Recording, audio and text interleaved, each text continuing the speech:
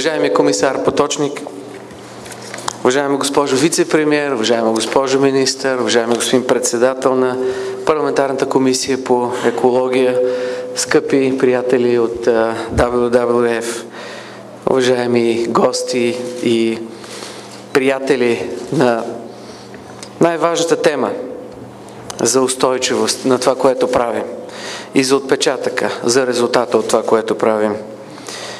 И не в джоба, а върху следващите поколения и върху планетата, която искаме да пазим и да обитаваме за още много-много дълги години. Благодаря за поканата и за възможността да приветствам всички участници на днешния форум. Подкрепям създаването на широка платформа, на която експерти, общественици, бизнес лидери, политици заедно да се обединят около решение за работеща, ресурсно ефективна економика. Независимо, че не е част от горещият политически дебат и дневен ред днес, постигането на ресурсна обезпеченост и ефективност е сред най-важните държавнически цели. Заставам зад ясните приоритети и работещи решения по този стратегически приоритет на България. Отстоявам позицията, че ефективното използване на ресурсите е залог за просперитета на нацията и част от националната сигурност. Въпреки разрасналата се дълбока економическа криза, ние като че ли все още не сме успяли съвсем да научим своите уроци, а България продължава да пилее своите ресурси. Казвам го най-отговорно и не посочвам никого за виновен, но всички ние сме виновни за това. Ресурсната неефективност не започва от един или друг. Тя е навсякъде. Тя е в начина по който управляваме остатъците в къщи. Тя е в начина по който ние се отнасяме към природата. Тя е в начина по който работим, в начина по който ползваме енергията, в начина по който караме автомобила си, в начина по който изхвърляме отпадъците си. Произвеждаме малко, същевременно изразходваме много. За да постигнем конкурентна способност и растеж, са ни необходими реформи във всички сектори и то с една единствена цел – количество. Не качество – да. В енергетиката, в водния сектор, в транспорта, в земеделието, в опазването на околната среда. И общото между всичките тези необходими действия на всички нива е само едно – промяна на мисленето на всеки един от нас, промяна на модела на действие и на работа, а именно елементарното усещане, че трябва да създаваме по-голяма добавена стойност с по-малко ресурс. Необходим е фокус върху ефективността, върху качеството, а не върху количеството и това е упражнението за всички нас. Ето и няколко примера. Вярвам, че най-ефтината енергия, винаги съм го казвал, е спестената енергия. Фактите сочат, че България има най-енергоемката економика в Европа. Фактите показват, че нашата конкурентна способност страда от това. Сметките за токи и околната среда достатъчно много също ги дискутирахме. Те също страдат от енергийната неефективност. Преминаването към енергийна ефективност в производството, в домакинствата има огромни ползи. Всички ние вече сме убедени в това и всички ние в последните години поставихме енергийната ефективност като стратегически национален приоритет. Тя е важна от социална, от екологична, от економическа гледна точка. Тя създава работни места. Тя ни прави енергийно независими, следователно по-конкурентно способни. Тя е кауза на всеки нас. Тя е и моя кауза на държавник. Нашето по-добро бъдеще зависи от намирането на работещите решения и от постигането на резултати по Националната програма за енергийна ефективност, която разбира се ще доведе и до технологично обновление на нашите малки и средни предприятия, на нашата економика. Друг пример – водата. Всички знаем и говорим за това, че водата е петролът на бъдещето. Че нито една от държавите няма излишък на вода. Много малки са изключенията. Канада, може би Германия. Време е да се замислим как използваме и употребяваме водните ресурси. Темата е на дневен ред от много години. Подготвена е законодателна промяна. Направиха се много дебати. Темата е много актуална. Устойчивото управление в сектор води стои на дневен ред с пълната си сила и това е една много силна перспектива за България. защото това ще доведе до по-чисто море, до по-чиста земя, на по-чиста нация и държава. Радвам се, че в последните години бяха направили наистина важни стъпки националната водна стратегия, а сега и водната реформа е в парламента. Смяната на модела предполага, разбира се, да почнем да мислиме и за начина по който ние третираме битовите и производствени отпадъци. Всъщност те не са отпадък. И отново е нужна промяна в мисленето. Те са остатък. Да го наречем дори така, вторичен ресурс. Длъжни сме рационално да управляваме този вторичен ресурс. Същевременно няма как да се радваме, когато само 6% от отчетените отпадъци в България, примерно през 2011 година, са били предадени за рециклиране. Останалите 94% скъпи приятели са един ресурс, който ние просто по най-арогантния начин изхвърляме и не връщаме обратно и не го ползваме. Затова вярвам, че част от прогреса и индикатор за прогреса, говоряки за това как искаме да подкрепим чистата си природа, е да намалим този процент от 94 на много по-малко и затова се подготвят сериозни инвестиции, включително и с Европейската комисия като наш партньор.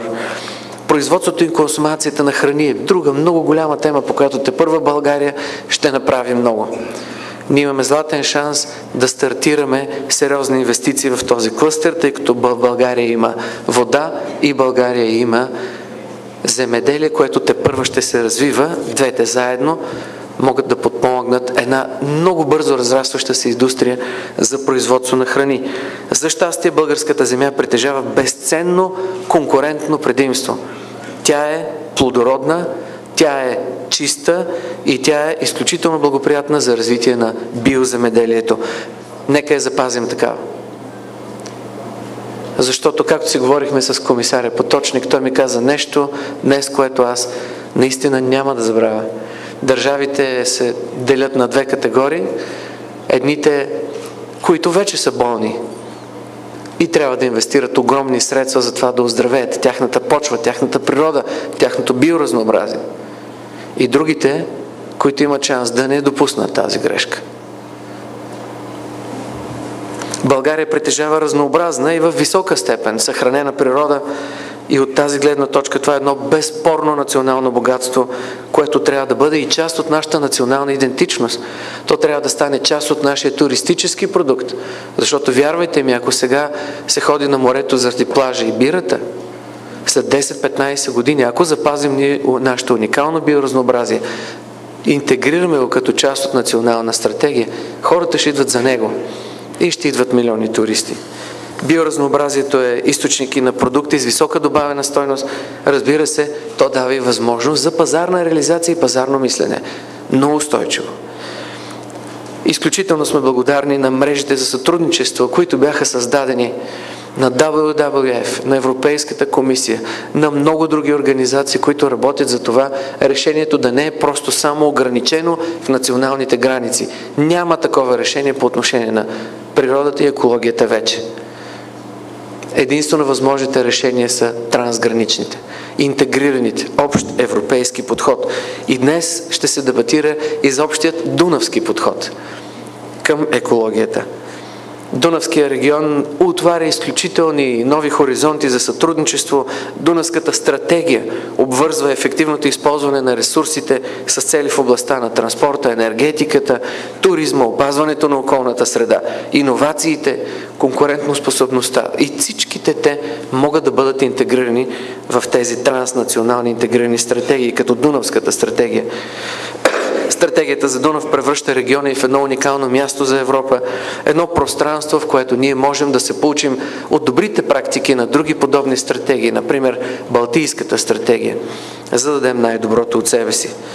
Да, ще се планира инфраструктура, но преди всичко важното е да се планира чрез общ подход, чрез общо планиране и същевременно ние да градим една устойчива зелена економика, с всичките нейни аспекти – инфраструктура, иновации, конкурентоспособност на базата на интегриран подход в рамките на целия регион.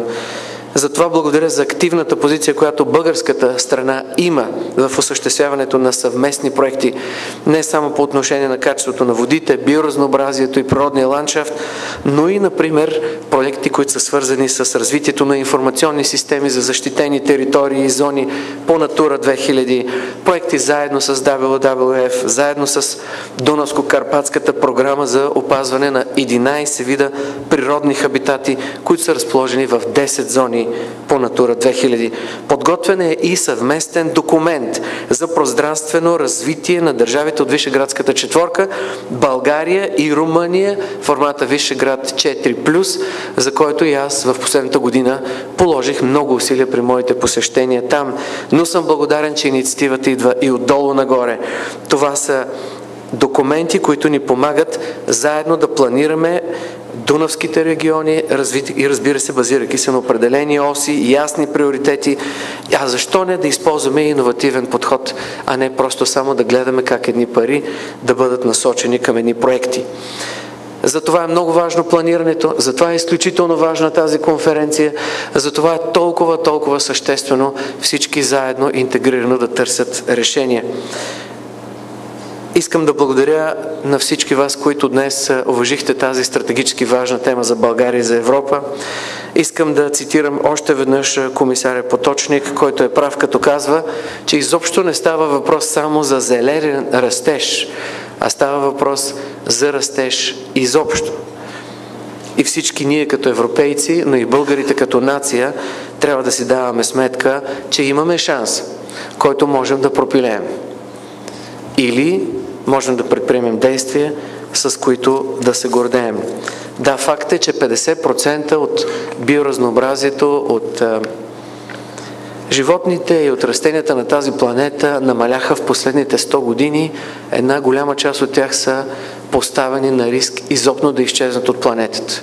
И това трябва да ни каже нещо много важно, че зависи от всеки един от нас. И разбира се, някой трябва да води. Аз благодаря на всички, които днес тук споделят водещи практики и решения. Но промяната зависи от всеки един от нас. С отговорно отношение към нашата природа. Благодаря ви.